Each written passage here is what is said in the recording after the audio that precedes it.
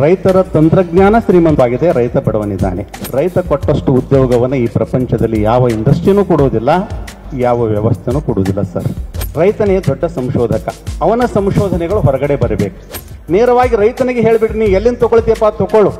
ನೀನು ಹೊಲದಾಗ ತಗೊಂಡು ಹಾಕೊಳ್ಳಿ, ನೀನು ಸರ್ಕಾರ ಇಷ್ಟು ಕೊಡ್ತದಂತ. ರೈತನಂತ ಪ್ರಾಮಾಣಿಕ ಈ ಜಗತ್ತದಲ್ಲಿ ಯಾವ ಇಲ್ಲವೇ ಇಲ್ಲ. ಸಾಕಷ್ಟು ಜನ ಮಠಾಧೀಶರು, ತಾವೆಲ್ಲರೂ ಕೂಡ ಪೂಜ್ಯರು ಬಂದಿದ್ರಿ. ತಮ್ಮನ್ನ ಜಗತ್ತು ಅತ್ಯಂತ ಗೌರವದಿಂದ ಕಾಣುತ್ತೆ. ನೀವು ಮನಸ್ಸು ಮಾಡಿದರೆ ಏನೆಲ್ಲವನ್ನು ಪರಿಮಾಡ, ಪರಿವರ್ತನೆ ಮಾಡತಕ್ಕಂಥ ಶಕ್ತಿ ನಿಮಗಿದೆ.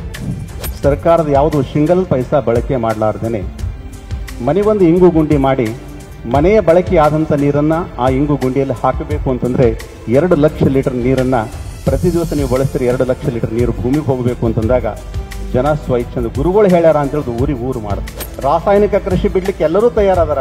ನೀವು ಬಿಡ್ರಿ ಅಂದರೆ ಬಿಡಲ್ಲ ಅವ್ರು. ಅದರ ಬದ್ಲಿಕ ಹಿಂಗೆ ಈ ರೀತಿ ಮಾಡು, ಈ ರೀತಿ ಹಾಕು ಅನ್ನತಕ್ಕಂಥದ್ದು ಒಂದು ಆಕಳ ಜೀವಾಮೃತವನ್ನು ನೀನು ಮಾಡು ಅಂತಂದಾಗ ನಿಶ್ಚಿತವಾಗಿ ಮಾಡ್ತಾರೆ. ಒಂದು ಎಕರೆಗೆ ಪ್ರತಿ ವರ್ಷ ಎರಡು ಸಾವಿರ ಲೀಟರ್ ಜೀವಾಮೃತವನ್ನು ಡ್ರಿಪ್ಪಿನ ಮುಖಾಂತರ ಕೊಟ್ರಿ ಅಂತಂದರೆ ಅದೇ ಅತ್ಯಂತ ಶ್ರೀಮಂತವಾಗಿರ್ತಕ್ಕಂಥ ಭೂಮಿ ತಾಯಿ ಆಗ್ತಾಳೆ. ಎರಡನೇ ವರ್ಷ ನಿಮಗೆ ಏನು ಕೊಡುವ ಅವಶ್ಯಕತೆಯೂ ಇಲ್ಲ. ಒಂದು ಎಕರೆಗೆ ಹತ್ತು ಕುಂಟಲ್ ಬೆಳೀತಕ್ಕಂಥ ರೈತ ಐದು ಕುಂಟಲ್ ಬೆಳೆದಕ್ಕಷ್ಟಕ್ಕೆ ನಿಂತ ಅಂತಂದ್ರೆ ಅದು ಐದು ಕುಂಟ ನ್ಯಾಷನಲ್ ಲಾಸ್ ಅನ್ನತಕ್ಕಂಥದ್ದು ಎಲ್ಲಿನ ತನಕ ಈ ದೇಶದಲ್ಲಿ ರೈತನನ್ನು ಪರಿಗಣಿಸುವುದಿಲ್ಲ, ಅಲ್ಲಿನವರೆಗೆ ಈ ದೇಶ ಸುಭಿಕ್ಷೆಗೆ ಬರುವುದಿಲ್ಲ. ಅದಕ್ಕಾಗಿ ತಾವೆಲ್ಲರೂ ಕೂಡ ಇದರ ಬಗ್ಗೆ ಲಕ್ಷ್ಯವನ್ನು ಕೊಡ್ರಿ. ಭಿಕ್ಷೆಯಿಂದ ಮಠವನ್ನು ನಡೆಸೋದು ಬೇಡ, ಕೃಷಿಯಿಂದಲೇ ನಡೆಸಬೇಕು ಅನ್ನತಕ್ಕಂಥ ದೃಢ ಸಂಕಲ್ಪವನ್ನು ಇಟ್ಟುಕೊಂಡು ನಾನು ಕೃಷಿಯಲ್ಲಿ ಇಳಿದವನು. ಇವತ್ತ ದೇಶದ ವ್ಯಕ್ತಿ ಶ್ರೀಮಂತನಾಗಿದ್ದಾನೆ, ದೇಶ ಬಡವವಾಗಿದೆ. ರೈತರ ತಂತ್ರಜ್ಞಾನ ಶ್ರೀಮಂತವಾಗಿದೆ, ರೈತ ಬಡವನಿದ್ದಾನೆ. ರೈತನ ಪ್ಲಸ್ ಅಂಡ್ ಮೈನಸ್ ಎಲ್ಲವನ್ನ ತೆಗೆದು ನೋಡಿ ನಂತರ ಆ ರೈತ ರೈತನ ಸ್ಥಿತಿಯಲ್ಲಿ ಹುಟ್ಟುಕ್ನು ಕೂಡ ದಿಕ್ಕಿರಲಾರ್ದಂತ ಈ ಅನ್ನದಾತನ ಬದುಕು ಸರ್. ನರೇಗಾ ಅನ್ನತಕ್ಕಂಥ ಒಂದು ಯೋಜನೆಯನ್ನ ಸೃಷ್ಟಿ ಮಾಡಿದ್ರಿ. ಆ ಉದ್ಯೋಗವನ್ನು ಕೃಷಿಗೆ ಜೋಡಿಸ್ರಿ ಉದಾಹರಣೆಗೆ ನಿಮಗೆ ಹೇಳ್ತೀನಿ, ಒಂದು ಎಕರೆಯಲ್ಲಿ ತೊಗರಿ ಬೆಳೆಯನ್ನು ಬೆಳಿಬೇಕಾಗಿದ್ರೆ ಕನಿಷ್ಠ ಪಕ್ಷ ನೂರು ಆಳುಗಳ ಬೇಕು. ರೈತ ಕೊಟ್ಟಷ್ಟು ಉದ್ಯೋಗವನ್ನು ಈ ಪ್ರಪಂಚದಲ್ಲಿ ಯಾವ ಇಂಡಸ್ಟ್ರಿನೂ ಕೊಡುವುದಿಲ್ಲ ಯಾವ ಸರ್ಕಾರನೂ ಕೊಡುವುದಿಲ್ಲ, ಯಾವ ವ್ಯವಸ್ಥೆನೂ ಕೊಡುವುದಿಲ್ಲ ಸರ್. ಚೆಕ್ ಡ್ಯಾಮ್ಗಳನ್ನು ಕಟ್ಟಿಸಬೇಕು ಅಂತ ಸರ್ಕಾರ ಘೋಷಣೆ ಮಾಡ್ಲತ್ತದ. ಆದರೆ ಚೆಕ್ ಡ್ಯಾಮ್ಗಳನ್ನು ಒಬ್ಬ ಜೆ ಇ ಇಂಜಿನಿಯರ್ಸ್ ಹಾಗೂ ಅಲ್ಲಿರ್ತಕ್ಕಂಥ ಗುತ್ತಿದಾರನಿಗೆ ಹಾಳಾಗಿ ಹೋಗ್ತಾ ಇದೆ ವಿನಃ ಅದು ಯಾವ ಕೆಲಸಕ್ಕೂ ಬರ್ತಾ ಇಲ್ಲ.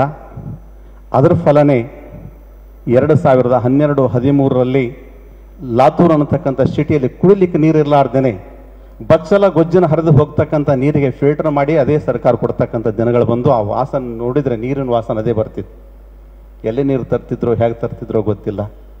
ಇಂತಹ ದುರಂತದ ದಿನಗಳು ದೂರಿಲ್ಲ. ಈಗ ಸಾಕಷ್ಟು ತಾವು ಸಬ್ಸಿಡಿಗಳನ್ನು ಕೊಡ್ಲತ್ತೀರಿ. ಆ ಸಬ್ಸಿಡಿಗಳನ್ನು ರದ್ದು ಮಾಡಿ. ಸಬ್ಸಿಡಿ ಎದಕ್ಕೆ ಕೊಡಬೇಕು ಅಂದ್ರೆ ಹಸಿರೆಲೆಯನ್ನು ಬೆಳೆಸ್ತಕ್ಕಂಥದ್ದು ಯಾವುದು ಶೆಣಮಂತಿದೆ, ಕರಿಯಳ್ಳಂತಿದೆ ಉದ್ವಂತಿ ಇದೆ ಇಂತಹ ಕೆಲವೊಂದು ಹಸಿರೆಲೆ ಬೆಳೆಸ್ತಕ್ಕಂತಹ ರೈತನಿಗೆ ನೀವು ಕೊಟ್ಟಿದ್ರೆ ಅದು ಭೂಮಿ ಶ್ರೀಮಂತ ಆಗ್ಲಿಕ್ಕೆ ಸಾಧ್ಯ. ಭೂಮಿ ಶ್ರೀಮಂತ ಆದಾಗ ಮಾತ್ರ ಸಶಕ್ತವಾದ ಬೆಳೆಯನ್ನು ಪಡ್ಲಿಕ್ಕೆ ಸಾಧ್ಯತೆ ಇಲ್ಲೋಗಿದ್ರೆ ಸಾಧ್ಯ ಇಲ್ಲ.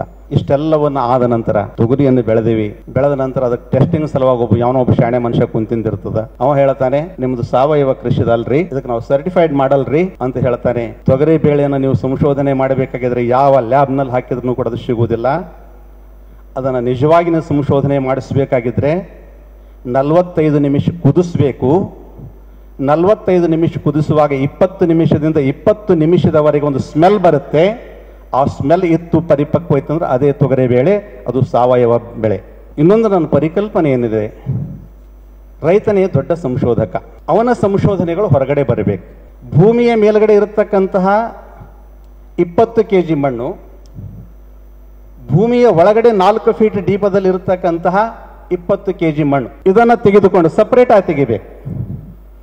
ಅದಕ್ಕೆ ಐದು ಲೀಟರ್ ಆಕಳ ಹಾಲನ್ನು ಬೆರೆಸಿ, ಎರಡು ನೂರು ಲೀಟರ್ ನೀರಿನಲ್ಲಿ ಹಾಕಿ ಅದನ್ನು ಐದು ದಿವಸದವರೆಗೆ ಇಟ್ಟಾಗ ಅದರ ಮೇಲುಗಡೆ ಕೆನೆ ಬರುತ್ತೆ. ಆ ಕೆನೆಯನ್ನು ಬೇರ್ಪಡಿಸಿದ ನಂತರ ಪುನಃ ಇದರಲ್ಲಿ ಬಂದಂಥ ಕೆನೆನೆ ಬೇರ್ಪಡಿಸಿದ ನಂತರ ಇವೆರಡೂ ಸಮ್ಮಿಶ್ರವಾಗಿ ಮಾಡಿದರೆ ಯಾವಾಗಲೂ ಕೂಡ ಮೈಕ್ರೋ ನ್ಯೂಟ್ರಿನ್ಸ್ ಕೊರತೆ ಅಂತ ಇವತ್ತು ಸೈನ್ಸ್ ಏನು ಹೇಳುತ್ತಿದೆಯಲ್ಲ ಯೂನಿವರ್ಸಿಟಿಯವರು ಏನು ಹೇಳ್ತಾರಲ್ಲ ಮೈಕ್ರೋ ನ್ಯೂಟ್ರಿನ್ಸ್ ಸಿಗುವುದು ನಾಲ್ಕು ಫೀಟಿನ ಕೆಳಗಡೆ, ಮೇಲುಗಡೆ ಸಿಗತಕ್ಕಂಥದ್ದು ಜೀವ ಪೋಷಕಗಳು ಅವೆರಡರ ಸಮ್ಮಿಲನ ಆದಾಗ ಅದೇ ಸ್ಪ್ರೇ ಮಾಡಿದರೆ ಯಾವ ನಿಮ್ಮ ಔಷಧಿಗಳು ಕೂಡ ಇದಕ್ಕೆ ಕೆಲಸ ಮಾಡುವುದಿಲ್ಲ. ಇದು ಪ್ರಾಕ್ಟಿಕಲ್ ಇವತ್ತ ಇಂತಹ ಪ್ರಶಿಕ್ಷಣದ ವ್ಯವಸ್ಥೆ ನಮ್ಮ ಸಮಾಜಕ್ಕೆ ಬೇಕಾಗಿದೆ, ರಾಷ್ಟ್ರಕ್ಕೆ ಬೇಕಾಗಿದೆ, ದೇಶಕ್ಕೆ ಬೇಕಾಗಿದೆ. ಇದನ್ನು ಲಕ್ಷ್ಯದಲ್ಲಿಟ್ಟುಕೊಂಡು ಸಾಕಷ್ಟು ಜನ ಮಠಾಧೀಶರು, ತಾವೆಲ್ಲರೂ ಕೂಡ ಪೂಜ್ಯರು ಬಂದಿದ್ರಿ, ತಮ್ಮನ್ನ ಜಗತ್ತು ಅತ್ಯಂತ ಗೌರವದಿಂದ ಕಾಣುತ್ತದೆ ನೀವು ಮನಸ್ಸು ಮಾಡಿದ್ರೆ ಏನೆಲ್ಲವನ್ನು ಪರಿಮಾಡ, ಪರಿವರ್ತನೆ ಮಾಡತಕ್ಕಂಥ ಶಕ್ತಿ ನಿಮಗಿದೆ. ಪೂಜ್ಯರೇ. ಅಂತಹ ಒಂದು ಕಾರ್ಯದಲ್ಲಿ ಒಂದು ಜಲಗ್ರಾಮ ಅಂತ ಕೊಡ್ರಿ. ಜಲಗ್ರಾಮ ಅಂದ್ರೆ ಏನು? ಒಂದು ಹಳ್ಳಿಯಿಂದ ಹರಿದು ಹೋಗ್ತಕ್ಕಂತಹ ಏನು ಕೆನಾಲ್ ಇದೆ, ನೀರಿನ ನಾಲಿ ಇದೆಯಲ್ಲ ಆ ನಾಲಿಯನ್ನ ಸಿಮೆಂಟ್ ಕಂಕರಗಳನ್ನು ಬಳಕೆ ಮಾಡ್ತಕ್ಕಂಥ ಪದ್ಧತಿನೇ ಬೇಡ. ಸಾವಯವ ಅಂದ್ರೆ ಶುದ್ಧವಾಗಿ ಸಾವಯವನೇ. ಪ್ರಕೃತಿ ಜೊತೆ ಕೂಡಿ ಮಾಡ್ತಕ್ಕಂಥ ಕೃಷಿ ಪ್ರಕೃತಿ ಕೃಷಿನೇ ನಮ್ಮದು ಎಲ್ಲೂ ಕೂಡ ಕಂಕರ ಬಳಕೆ ಮಾಡೋದು ಬೇಡ, ಸಿಮೆಂಟ್ ಬಳಕೆ ಮಾಡೋದು ಬೇಡ. ನಾವಿನ ಆಕೃತಿಯಲ್ಲಿ ಒಂದು ಮುನ್ನೂರು ಫೀಟ್ ಇರತಕ್ಕಂಥ ನಾಲಿಯನ್ನು ನಾವಿನ ಆಕೃತಿಯಲ್ಲಿ ಸ್ವಲ್ಪ ಹಿಂಗೆ ತಕ್ಕೊಂಡು ಕೆಳಗಡೆ ಡೀಪ್ ಮಾಡಿದಾಗ ಮುಂದೆ ಸ್ವಲ್ಪ ಏರು ಮಾಡಿ ಅಲ್ಲಿಂದ ಹಾದು ಹೋಗುವಾಗ ಕನಿಷ್ಠ ಪಕ್ಷ ಒಳಗಡೆ ನಿಂತಂತ ನೀರು ಒಂದು ಸ್ಕ್ವಯರ್ ಫೀಟಿಗೆ ಇಪ್ಪತ್ತೇಳುವರೆ ಲೀಟರ್ ನೀರು ನಿಲ್ಲುತ್ತೆ. ಒಂದು ರೀತಿ ಇದೇ ರೀತಿ ಗ್ರಾಮದ ಒಂದು ಪರಿಸರದಲ್ಲಿ ಕನಿಷ್ಠ ಪಕ್ಷ ಏಳೆಂಟು ಕಿಲೋಮೀಟರ್ ನೀರು ಹರಿದು ಹೋಗುತ್ತೆ. ಮಂತ್ರಿಗಳೇ ಆ ನೀರನ್ನು ಒಂದು ವೇಳೆ ಇಂಗಿದ್ರೆ ಒಂದೇ ವರ್ಷದಲ್ಲಿ ದೇಶ, ರಾಜ್ಯ, ಇಡೀ ಚಾರಿತ್ರಿಕ ಇತಿಹಾಸವನ್ನು ಬದಲಿಯಾಗ್ತದೆ. ಒಂದು ಘನ ಫೀಟಿಗೆ ಇಪ್ಪತ್ತೇಳು ಲೀಟರ್ ನೀರು. ಒಂದು ಘನ ಫೀಟಿನ ನೀರಿನ ವೇಟ್